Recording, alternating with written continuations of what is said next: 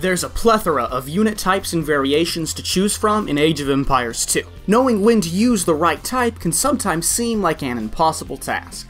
In this video, I'll overview the various advantages and disadvantages of each unit type in Deathmatch to allow you to understand the reasoning that goes into choosing your own army. This will give you a solid foundation for choosing what buildings to make in your Deathmatch build order. Now, before we start, always know that unit choice is dependent, if not determined, by your civilization and your playstyle. Different civs are good at different things. In this video, I can't possibly go over each and every unit and building combo that you'd make with every one of the 31 civilizations. I can, however, tell you what certain unit types are good at, and by extension tell you what buildings you should make with certain types of civilizations. Now, to get started, remember that the goal of your starting build is to create a powerful military force as fast as possible. This means that for the purposes of this video, when I say a particular opening is fast, I do not mean that the units have high movement speed. I mean that a certain opening creates more power in a given amount of time. While movement speed often makes a unit more powerful, it doesn't necessarily mean that a certain opening is a faster opening. Think of it as a formula in which you divide power by time, and the openings with the higher resulting numbers are better and faster. Now that we have that out of the way, let's go over the unit classes. First, cavalry units are made at the stable. Paladins, and by extension their weaker younger brothers, the Cavaliers, have fast movement speed and high stats, making a stable opening a fast one. Civs with Paladins are fast enough to do a rush strategy, in which they send units early to the enemy base. Because of the Paladin's high stats, they're very population efficient, making them good throughout the entire game. Another fast cavalry unit is the Heavy Camel. While it has a higher movement speed and creation speed than the Paladin, it has lower stats, meaning it's not quite as powerful in the early game, and therefore a camel opening isn't quite as fast.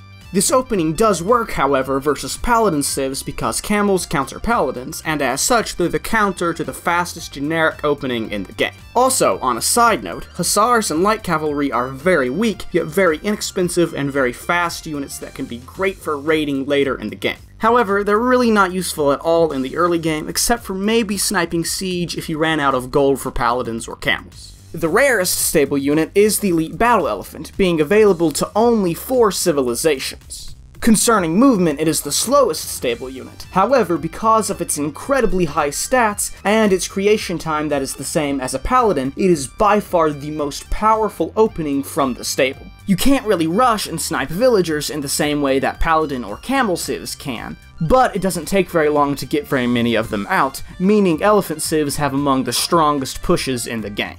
The next class of units are siege units, made at the Siege Workshop. Now, while all of these units fulfill different roles, they're all relatively slow at the very start of a game.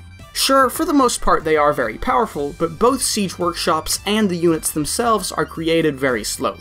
They are great support units, however, and can complement infantry and cavalry very well, adding in some important power once the game gets rolling. This means that once you have units on the field, the creation of siege workshops can actually add so much power to your army that using them can be considered a fast choice. Let's look at some examples. While siege onagers can hurt your own army, they deal a lot of damage to enemies also, meaning just a few good onager shots can wipe out entire armies, vastly weakening them, and drastically increasing your relative power on the field. Ergo, under my definition, they are fast. You can also get siege rams onto the field far earlier than trebuchets, and they destroy buildings in seconds, meaning your opponents will struggle to create more units, increasing your relative power. Ergo, again, they are also a fast addition to your army. Additionally, when used properly, they virtually neutralize archers, but we'll get back to that in a later video. While heavy scorpions don't have quite the potential to wipe out large swaths of enemy armies like onagers do, they completely lack the potential to do the same thing to your own, making them very good against infantry. Their high attack and ability to damage multiple units also makes them good against high pierce armor infantry, such as the popular Huskarls and Eagle Warriors, and once you have several of them out, they absolutely murder anything that gets close. Again, destroying large groups of army will drastically increase your relative power on the field. Ergo, they can be fast. I think you get the picture. Siege can be a fast addition to your army. However, please note that this does not go for bombard cannons. They are very expensive and they're very fragile, and because they only really serve to take out onagers and scorpions, they're not that great of a unit to use. They can take out buildings and offer long-range support, but onagers and rams simply do this far better, and as such in deathmatch, pro players try to stay away from them as much as possible. Moving on, infantry units serve as medium power meat shields and counter units. While the champion has good stats for an infantry unit, it simply can't compete with paladins, making a champion opening comparatively slow.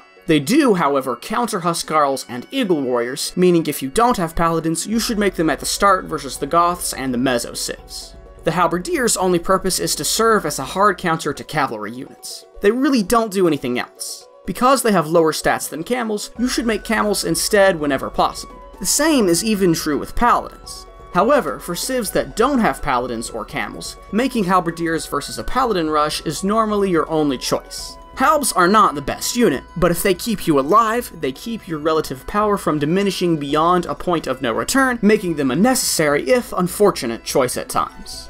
Now, archer units are probably the most difficult to understand because of the effects of their range. However, fortunately, in general, they're the weakest classed, so you can ignore them if your civilization has a good early game cavalry, siege, or infantry combo. However, for those civs that don't, archers can still be useful and occasionally a powerful addition. The most powerful generic archer unit is the heavy cavalry archer. While it does not counter cavalry or siege, it has high stats and mobility, and the fact that it's ranged means you can deal a lot of damage with them at one time. Civs with good heavy cavalry archers generally use archery ranges as their second building type after barracks or stables. They're a great support unit, but you have to be careful around archers and get used to having to babysit them. Arbalests are basically weaker and slower, yet less expensive versions of the heavy cav archers. They have lower stats and perform far worse versus cavalry, siege, and even infantry. However, for civs that don't have heavy cavalry archers, they can often be a good addition to protect other units. Skirmishers only exist to counter archers, and are far less useful than onagers or rams at doing so, so only make them in 1 vs 1 trash wars where you need to save your gold. Well, I've gone through the strengths and weaknesses of each unit type, and given you a somewhat vague understanding of when to make them. The next episode in this series will serve as a follow-up video to this one. I'll teach you how to choose what buildings you make based upon what your civilization is good at, and I'll also show you the order in which you would do this, so make sure to subscribe and get notified when the next episode is published. Until then,